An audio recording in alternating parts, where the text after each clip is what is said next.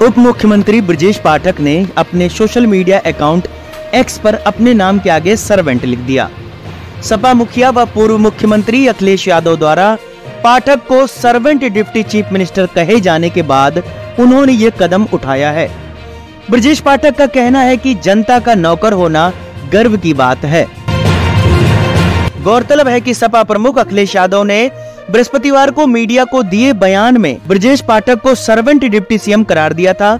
इस पर उप मुख्यमंत्री ब्रजेश पाठक ने जनता का नौकर बताने के लिए अखिलेश को धन्यवाद दिया। उन्होंने कहा कि अखिलेश को आम जनता से कोई लेना देना नहीं है, सिर्फ़ कोरी बयानबाजी करना जानते हैं। साथ ही कहा कि अखिलेश तो राज परिवार से हैं, उनके पिता कई बार मुख्यमंत्री रहे, वे स्वयं भी सीएम रहे हैं। दरअसल, ब्रजेश पाठक ने अखिलेश यादव के लखनऊ के जयप्रकाश नारायण इंटरनेशनल, जीपीएनआईसी का गेट फांदने को लेकर तंज कसा था। पाठक ने कहा था कि समाजवादी पार्टी को अराजकता और गुंडई पसंद है। ये बात सपा मुखिया के आचरण से भी सिद्ध हो गई। इसके साथ ही ब्रजेश पाठक ने अखिलेश को एशियन गेम्स में जाकर भारत के लिए मेडल लाने की भी नसीहत दे डाली थी। उन्होंने कहा था कि वो, यानी अखिलेश यादव, कूदने में अच्छे हैं ही। डिप्टी सीएम के इस बयान पर जब अखिलेश यादव से सवाल पूछा गया तो उन्होंने कटाक्ष करते हुए ब्रजेश पाठक को सर्वेंट डिप्टी सीएम कह दिया। अखिलेश ने कहा, हम सर्वेंट डिप्टी चीफ मिनिस्टर की बातों का जवाब नहीं देते, क्योंकि अगर कोई जिम्मेदार है तो वो सिर्फ़ सीएम है।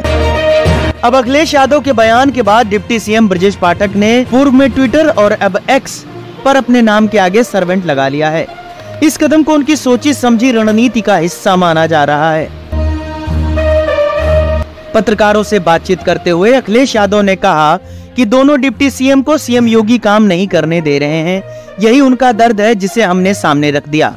उन्होंने मीडिया से बातचीत में कहा कि अगर डिप्टी सीएम ब्रजेश पाठक वाकई में जनता के सेवक हैं तो उन्हें जनता की सच्चे अर्थों में सेवा करनी चाहिए, अस्पतालों की हालत सुधारनी चाहिए। उन्होंने कहा कि यह भी देखा जाए कि डिप्टी सीएम ट्विटर हैंडल खुद चलाते हैं या कोई और चलाता है। यूपी के डिप्टी सीएम ब्रजेश पाठक के सोशल मीडिया प्लेटफॉर्म एक्स पर खुद को सर्वेंट लिखना आप किस नज़रिए से देखते हैं, हमें कमेंट बॉक्स में ज़रूर बताएँ।